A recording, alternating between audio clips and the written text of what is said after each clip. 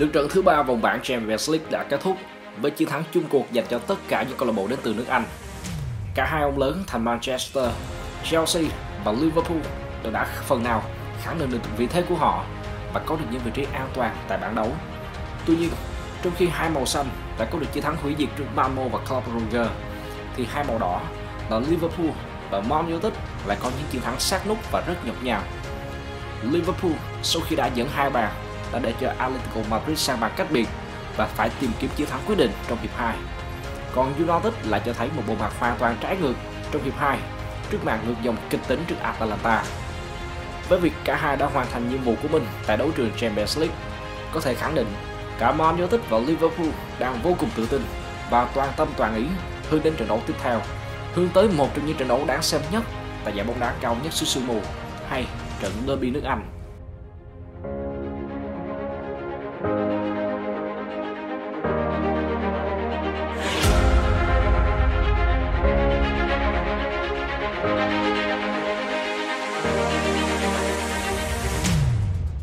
Nếu so về trình độ ở thời điểm hiện tại, thật không khó để phần lớn người hâm mộ hay thậm chí là những Manusians cũng phải thừa nhận rằng đội chủ nhà đã được đánh giá cao hơn Man United và có cửa thắng lớn hơn.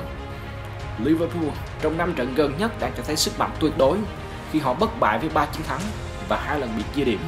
Trong khi đó, quan quân của Solskjaer lại đang trải qua một giai đoạn vô cùng bắt bênh ở nhiều đấu trường khác nhau, đặc biệt là ở Premier League khi họ chỉ toàn hòa và thua trong 3 trận gần nhất. Vì thế, chỉ cần xét đến phong độ hiện tại, đội bóng của Jurgen Klopp hiển nhiên được đánh giá trên cơ. Bên cạnh câu chuyện về mặt phong độ, vấn đề nhân sự cũng là điều mà Liverpool lại cho thấy họ hơn hẳn đại kỷ lực của mình. Liverpool đang là một tập thể thống nhất với các cá nhân luôn thi đấu tròn vai và biết cách hỗ trợ nhau khi cần thiết. Chưa kể là chiến lược gia người Đức trước trận đấu này còn đón chào sự trở lại của hai nhân tố vô cùng quan trọng là Alisson Becker và Fabinho. Trong khi đó, mũi đinh ba Firmino, Salah, Mane vẫn đang thi đấu rất vào form và nhá đạn liên tục. Đáng kể nhất chính là Salah khi tiền đạo người Ai Cập đang thể hiện một phong độ cực cao với 7 bàn thắng trong 8 vòng đấu. Chính Salah cũng là người ghi bàn ấn định chiến thắng 3-2 ngay tại Wanda Metropolitano. Những pha đi bóng lắc léo, những cú cut inside, tốc độ thường thừa và những cú cứa lòng sắc lẹm hứa hẹn sẽ là một bài thử thách vô cùng dành cho Luke Shaw, Joseph sẽ đảm nhiệm hành lang cánh trái. Không chỉ có vậy, Salah còn có được sự hỗ trợ vô cùng đắc lực từ Sadio Mane, một người cũng sở hữu tốc độ và kỹ thuật không thua kém gì. Ở trung tâm hàng tấn công sẽ là sự góp mặt của Roberto Firmino, một sát thủ vòng cấm đích thực với khả năng chấp cơ hội. Ngoài ra, Liver còn sở hữu một tiền đạo cũng rất xuất sắc khác trên ghế dự bị, Diogo Jota, người hoàn toàn sẽ được đưa vào sân như một phương án bất ngờ đến từ Klopp. Trong khi đó, khi nhìn sang Man United, nhìn đâu cũng thấy vấn đề. Hàng thủ được chỉ huy bởi Harry Maguire đang cho thấy sự thiếu chắc chắn và mỏng manh hơn bao giờ hết. Trái ngược với một hàng phòng ngự kín kẽ và kỷ luật được chỉ huy bởi Van Dijk.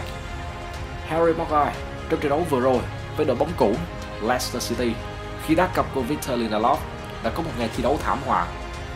Sự lóng ngóng, thiếu quyết đoán cùng với việc chưa hoàn toàn bình phục chấn thương đã biến Maguire vô tình lại là mắt xích yếu nhất trong ngày trở về King Power. Và để đối đầu với một đội bóng thiên về kiểm soát bóng và tấn công nhiều như Liverpool, thì việc hỗ trợ phòng ngự của hàng tiền vệ là vô cùng cần thiết. Nhưng nếu nhìn vào cách mà Fred hay Scott McTominay phòng ngự ở trận đấu vừa rồi, hay Fred ở trận đại bại trước Leicester, thì ta sẽ hiểu rằng việc để các cầu thủ tuyến hai của Man United hỗ trợ đồng đội của mình trong khâu phòng ngự là rất khó. Thành tích dưới sạch lưới đúng một trận trong 8 vòng vừa rồi đã dấy lên hồi chuông cảnh báo cho khâu phòng ngự của đội chủ nhà trong cuộc đối đầu mà tính sống còn này khi Liverpool đang chính là đội có hàng công mạnh nhất giải đấu ở thời điểm hiện tại với 22 bàn thắng.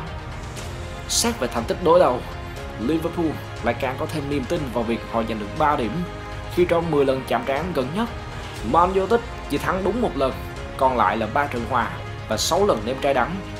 Liverpool đang hướng đến 3 điểm thứ hai liên tiếp ở Old Trafford, điều mà họ chưa bao giờ làm được kể từ năm 2002. Lợi thế sân nhà xem ra cũng không phải là yếu tố gì đó quá đáng cân nhắc trong trận derby nước Anh khi mà Man United đã không thể giữ sẵn lưới trong 9 trận sân nhà gần nhất.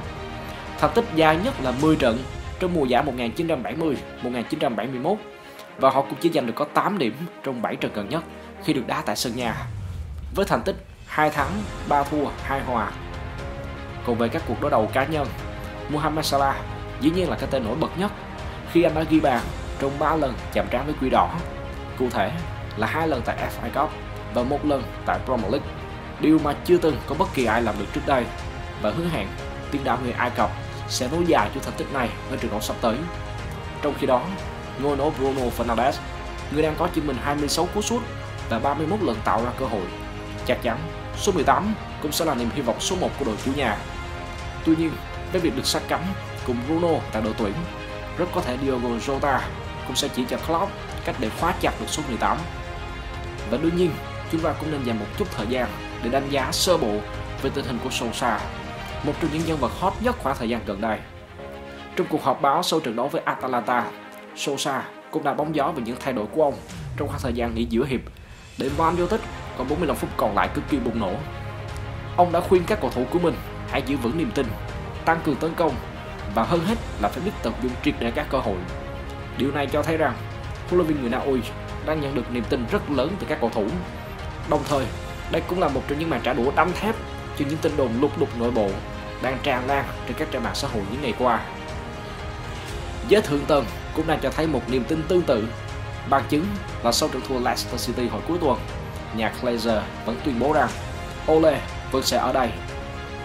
Dù biết rằng việc giới chủ lật mặt là điều không hiếm có trong bóng đá ngày nay, nhưng quả thực việc sa thải huấn luyện viên trong giai đoạn nửa mùa chưa bao giờ là một giải pháp mang đến thành công cho Man United. Cho nên có thể kết luận rằng dù cho có thất thủ ở trận derby nước Anh cuối tuần và sự phẫn nộ của các cổ động viên có lên đến cùng cực đi chăng nữa, thật khó để chúng ta có thể tin Ole sẽ bay ghế ngay vào sáng ngày hôm sau. Không thể phủ nhận một sự thật rằng Ole có những điểm yếu chí mạng, đó là sự bảo thủ cũng như chưa định hình được lối chơi, dấu ấn chiến thuật rõ ràng.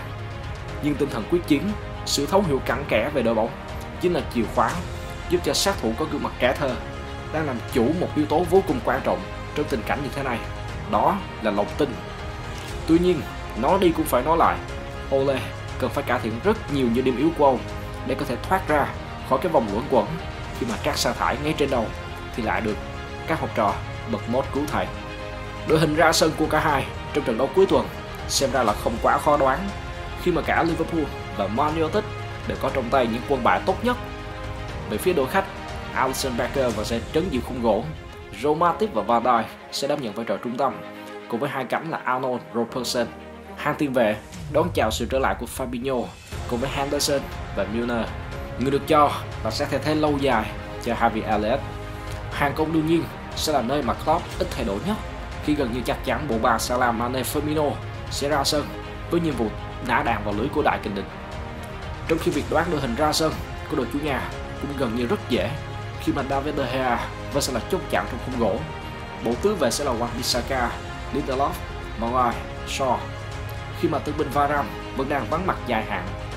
Hàng tiền vệ sẽ là bộ đôi Fred cùng Pogba, trong khi Bruno sẽ được đẩy lên thi đấu gần hơn về Rashford, người cũng đang bỏ ngỏ khả năng ra sân. Nhưng Sosa vẫn đang tin tưởng vào khả năng hồi phục của số 10. Mason Greenwood sẽ chạy cánh phải và người chơi cao nhất trên hàng công đương nhiên là Cristiano Ronaldo. Dù có chuyện gì xảy ra với hai đội đi chăng nữa, thì màn đối đầu này luôn xứng đáng được mong chờ nhất ở Premier League vào cuối tuần. Cuộc đại chiến giữa hai đội bóng sở hữu nhiều cúp nhất tại xứ sương mù. Một trận đấu mà động lực để giành chiến thắng không chỉ đơn giản là 3 điểm mà đó còn là danh dự, truyền thống và vị thế. Và chúng ta hãy cùng chờ xem tại Old Trafford, nhà hát của những giấc mơ vào chủ nhật này, Liverpool sẽ đến đây để ca khúc khải hòa You Never Walk Alone hay Manchester United sẽ là đội chấm dứt chuỗi 18 trận bất bại của thầy trò Jurgen Klopp.